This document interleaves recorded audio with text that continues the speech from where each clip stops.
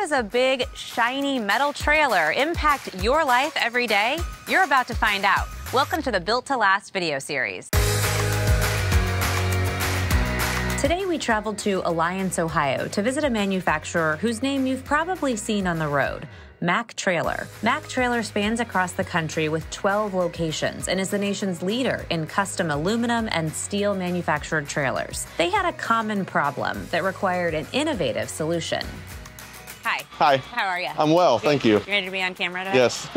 So, who is your prime customer? Who's wanting a custom trailer built? um, we have a lot of fleets and a lot of end users. Uh, I don't know the percentage, but we do offer a vast variety of trailers. So we can build approximately eight a day here, depending on our schedule um, and what we are required by our customers. Okay, well, I am excited to see what you guys do. And so, you're going to be our tour guide today, Brian. Yes. So, let's go check it out. Come on.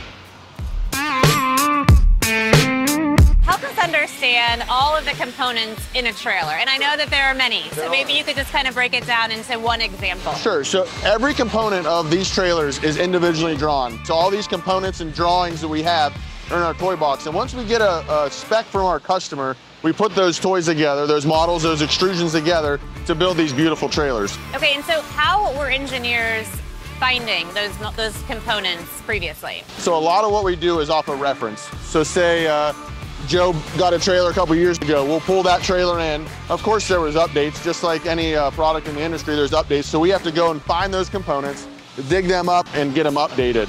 So sometimes it's very tiresome to find those components and search uh, for what we need. that take, that, that process? Um, it could take anywhere from seconds to minutes to an hour, just depending on what that customer needs. so were you looking for a way to streamline that process? Absolutely. And how did the Teamcenter help do that? Sure. So the biggest hurdle we have is getting the prints from our our computer out to the shop. So any way we can streamline that gets the shop their prints quicker. Um, so as we search through components and find things, Teamcenter has given us that ability to streamline that and get that quicker in our models, get the product out to the, or the drawings out to the shop, um, and get these guys building trailers. This is like the MAC trailer Bible. We're gonna show you what's inside. This is important. You yes, very this. important. Every trailer has one. I feel I feel like I'm very powerful to be holding this. I'm gonna let you start. You flip through it and tell me what this is for. So every trailer at MAC, um, especially this facility, comes in a folder like this. And there's an overview of our trailer. So every print in here has a BOM. That BOM then correlates to the parts needed to build that trailer. So this is what the um, the people in here working are working off of each day. Yes. Okay. All right. So the shape of these trailers is pretty unique. Yes, it is. Um, so tell me what people might see these trailers doing on the road and what they're typically carrying. Um, anything agricultural will be hauled in here. Gravel, um, we have some customers hauling sludge. So is this one of your more frequently purchased products? Yes, so this trailer right here, we are scheduled out through 2023. We are into 24 right now, so very hot product for us. So they're going fast, folks. You have until 20. You have to wait till 2024 if you haven't put your order in yet. Sorry. What is happening here?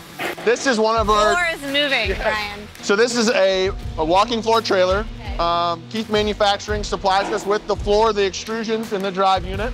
Um, and what you're seeing here is this is how the load will discharge.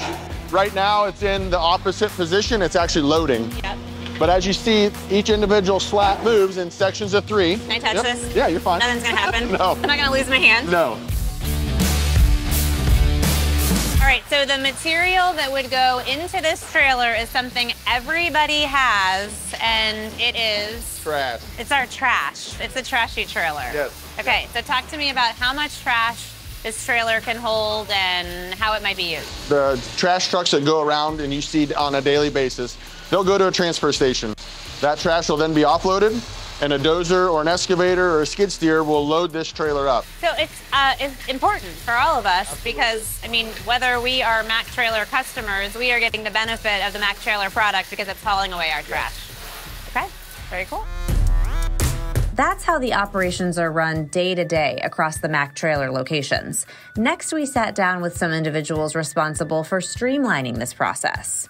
I integrate stuff between engineering and IT. Okay, and so in doing that, What were some of the challenges that you were finding with working with engineers and trying to integrate with IT? What was your biggest challenge? So basically, we knew we had a problem with how many parts we had, overusing parts, um, opening new facilities and copying what we had to the new facility, then creating new over there. Um, we knew we were building this beast, this monster, this issue. It became the point where engineers literally told me it is faster for them to draw the part again than it is to go searching for it. it Cadenas gave us the tool to find the problems, where, where the issues lied, what we were duplicating, what was obsolete. Is this a unique problem to MAC Trailer? I would say this is a problem that any manufacturing company in particular is probably going to encounter if they're trying to move from uh, a file system or a, maybe an older PDM system into something newer. We went from 1.3 million to 300,000 parts, which is a huge uh, difference in data. Uh, I would add that it's been great working with Cadenas and Siemens. Uh, they've given us tools that have allowed us to create efficiencies and standards across our business that we wouldn't have otherwise. Uh, and they, they've allowed us to continue to be one of the top manufacturers in, in our industry. Before wrapping up the day at the MAC Trailer headquarters, Brian gave us an eye opening look at the difference Teamcenter has made for their company.